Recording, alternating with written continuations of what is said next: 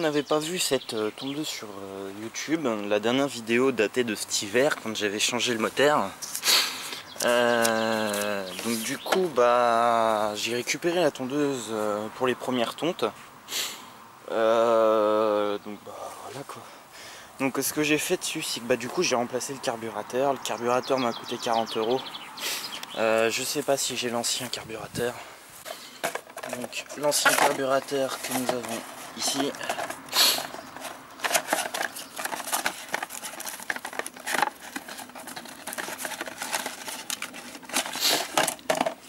Donc voilà. Donc la gueule du carburateur, euh, enfin du carburateur de ce moteur là. Donc c'est des carbus en plastique.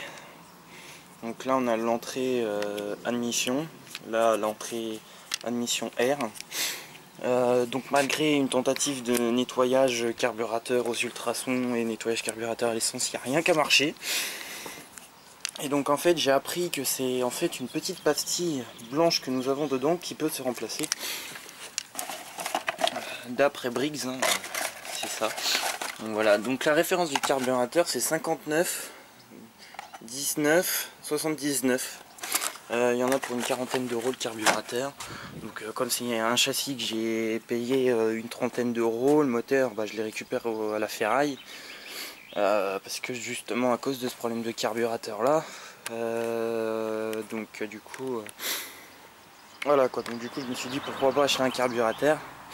Donc euh, surtout dans ces moteurs là faut jamais laisser l'essence plus de deux mois dedans parce qu'après c'est la merde. Euh, ils démarrent mal ou sinon ils vont se mettre à réguler ou tourner comme une brêle. Un peu comme un petit Briggs euh, 3.5 euh, ou 450 qu'on peut trouver encore. Où c'est qu'on a le carburateur sur le réservoir. en fait il tourne comme s'il y avait, il y avait plus de membrane mais ces moteurs là tournent. Enfin ont une membrane, enfin ont pas de membrane plutôt. C'est un carburateur avec un pointeau, un flotteur, un gicleur, enfin bon voilà quoi, tout ça. Euh, par contre, ce que je sais, ce que j'ai appris, c'est qu'en fait, ils ont repris le bloc d'un 3.5, d'un 3.5 ou d'un 450. Euh, et donc du coup, ce qu'ils ont fait, c'est qu'en en fait, ils ont ajouté une jauge à huile. Et au lieu d'avoir une culasse simple, ils nous ont fait un moteur à soupape culbuté. Donc euh, j'ai comparé, j'ai pu, j'ai pu comparer un moteur qui avait été ouvert, euh, c'est pas à moi, un moteur qui avait été ouvert, je l'ai comparé avec un bloc de 3.5 et en fait c'est les mêmes blocs. Donc en fait ils ont repris la base de, Comme je disais, ils ont repris la, base de ce moteur là, là, ces petits moteurs là, qu'ils ont transformé en ces moteurs là. Donc euh, l'échappement a changé de place, le carburateur a changé de place. Donc enfin bon c'est un peu c'est un peu le bordel quoi. Donc euh, enfin voilà quoi. Donc ça oui c'est un moteur que j'ai racheté 50 euros sur le bon coin, un moteur tout neuf. Euh, parce que en fait il a été pris mais bon en fait je crois qu'il était monté sur une moto bineuse. En fait la moto bineuse bah, le pont a cassé et donc du coup voilà quoi. Bon il y a un petit peu d'huile partout, c'est bon il est transporté dans tous les sens. Ça sera pour une tondeuse ça encore je sais pas laquelle. Mais ça sera pour une tondeuse. Donc voilà. Donc en gros pour faire simple hein, c'est voilà. Donc moteur ready start. Donc ça c'est vraiment le truc euh, beau gosse, c'est peut-être bien le ready start. Prenez votre barre et regardez. Là.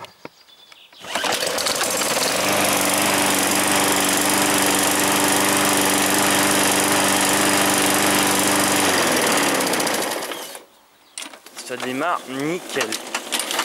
Ça démarre vraiment avec euh, très peu de cordes. Donc euh, bon, c'est un peu les systèmes Ready Start, sachant que ce moteur-là, bah, il a la garantie S2. Que j'explique la garantie X2 S2 de chez Briggs. Vous avez normalement une petite étiquette avec marqué S2 dessus. Et en fait, l'étiquette S2, ce que ça veut dire, c'est qu'en fait, vous n'avez pas à démarrer, euh, enfin à tirer plus de deux fois sur la corde pour faire démarrer le moteur, aussi bien à froid qu'à chaud. Euh, si ce n'est pas le cas, la garantie S2, euh, Briggs s'engage à réparer la tondeuse euh, à leurs frais pour que le moteur redémarre euh, comme, comme avant. Donc après, est-ce que ça prend en garantie la vieille essence et tout ça? Aucune idée. Enfin voilà quoi.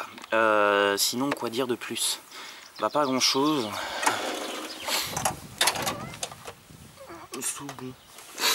C'est encore assez propre. Encore assez propre. Donc bah du coup j'ai profité en même temps, j'ai fait une révision complète. Euh, pour l'instant elle a quelques tombes quand même à son actif. Donc voilà. là celui-là je l'avais nettoyé. Nickel chrome. Il était propre quoi. Il n'y avait pas de souci.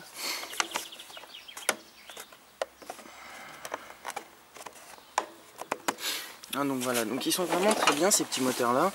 Euh, bon en fait c'est un petit moteur comme ça, donc euh, sauf que bah, là on a un régulateur, sur ceux-là on a un régulateur avant, celui-là on a un régulateur interne au moteur, pas, euh, pas en extérieur on va dire, sur la bobine d'allumage.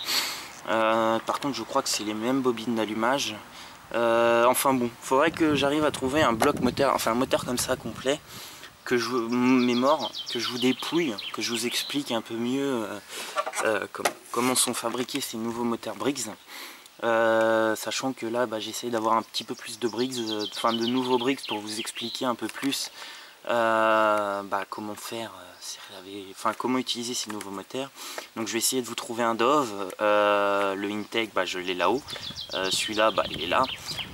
donc voilà c'est un peu les moteurs qu'on trouve en, partout maintenant, c'est vraiment les nouvelles générations de Briggs. Les Quantum restent les mêmes, sauf que là, bon, on a du Ready Start et tout ça. Donc on a la Toro pour ça. Euh, quand elle tombera en panne, euh, bah, je vous ferai une petite vidéo dessus. Avant qu'elle tombe en panne, j'espère quand même faire pas mal d'années et de tontes. Euh, mais bon voilà, je peux toujours vous expliquer, je peux toujours réussir à vous trouver du carburateur pour vous expliquer un peu comment fonctionnent les carbus, les nouveaux carbus. Donc voilà quoi, c'est enfin, c'est un peu ce que je me casse le cul à vous faire, c'est voilà, c'est vraiment ça. C'est essayer de vous faire des belles vidéos. Euh, j'essaye un peu plus d'avoir du matériel euh, récent on va dire. Donc euh, on va dire que je lésine pas les, frais. donc la Centaure, bon c'est une tondeuse GGP de base. Hein. Enfin c'est les GGP qu'on peut trouver en, en commerce au jour d'aujourd'hui, c'est plus celle qu'on avait avant. Les carénages restent à peu près les mêmes, sauf les systèmes de relevage de couple, les tractions. Euh, le guidon reste à peu près le même, sauf que bah, là on a des nouvelles commandes. On a des nouvelles commandes, on a des trucs en plastique qui les tiennent. Donc euh, d'un côté c'est pour voir un peu la fiabilité de ces nouvelles machines là. Euh, c'est pour tout ça.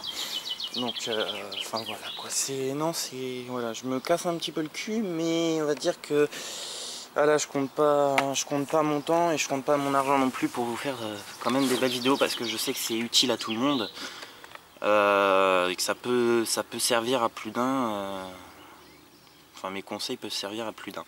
Ah oui ce qui a été fait aussi sur cette tondeuse c'est que d'origine j'avais pas de panier. Donc j'ai piqué le déflecteur d'une des anciennes GGP les premières premières générations de GGP avec un bac noir d'une première GGP aussi donc ce qu'il y a en plus de ce petit de, système là, c'est que bah, d'origine j'ai un panier plus petit en capacité euh, qu'à l'origine. Je crois que ça varie de 20 litres. Donc d'un côté, euh, le poids de l'herbe dans le panier n'est plus le même par rapport à la tondeuse. Donc on va dire que le boîtier de traction est un petit peu plus apaisé à ce niveau-là. Sachant que j'attends pas que le panier soit rempli plein la gueule pour le vider. Euh, voilà, quand je sens que ça commence à devenir un petit peu lourd avec mon pied, euh, voilà quoi, c'est vraiment, euh, c'est vraiment ça. Par contre, je suis un petit peu déçu, c'est que vous voyez, l'étiquette GGP tient vraiment plus. Alors que les anciennes avant, on, pouvait avoir de la rouille partout sur le carter, on arrivait encore à avoir les étiquettes, mais là, sur celle-là, voilà quoi. Pourtant, je la lave pas à l'eau. Hein. Mais apparemment, elle kiffe pas l'eau. Enfin, elle a pas kiffé, je sais pas quoi. Mais bon, voilà quoi. Sinon, ouais, ça reste ça reste des bons moteurs. Par contre, vous voyez là, on a un moteur de 125 cm3. Par contre, celui-ci est de 148 cm3. Mais bon, faut dire, les pistons ils sont tout petits comme ça. Hein. C'est vraiment des petits pistons. Par rapport à ceux-là, les pistons sont un petit peu plus gros. Celui-là, ils sont un, peu petits. un petit peu plus petits. Donc, euh, j'ai un petit peu hâte de voir un peu la fiabilité de ce moteur-là dans le temps. Euh, sachant que c'est un moteur qui a quand même déjà deux ans, euh, qui a jamais été vidangé, qui a jamais fait de bougie, qui a jamais fait de filtre à air. Donc moi j'ai fait ça pour la saison. Euh, on a un carter bah, qui, est, a quand même pareil, hein. il a un an de plus que le moteur. Donc bon, voilà quoi. Mais bon, en même temps, il a un an de peu, il a trois ans, mais il a pas trois ans de fonctionnement quoi. Ça se, Ça se voit, hein, sinon il serait pas neuf en dessous. Il doit peut-être avoir allé une ou deux saisons en dessous, mais c'est tout. Donc euh, voilà, donc ça me permet de faire euh, pas mal de tests et tout ça. Enfin bref, trêve de blabla. Euh, donc bah écoutez, si cette vidéo vous a plu sur la Centaure, aimez-la. Si elle vous a pas plu, aimez-la pas. Dites-moi en commentaire pourquoi elle vous a pas plu. si vous avez quelque chose à dire par rapport au GGP, c'est en bas dans les commentaires. Enfin voilà, c'est tout ce que j'avais à dire par rapport à cette petite vidéo. Euh, donc bah écoutez, si quoi que ce soit à dire, c'est en bas dans les commentaires. je vous dis à plus tout le monde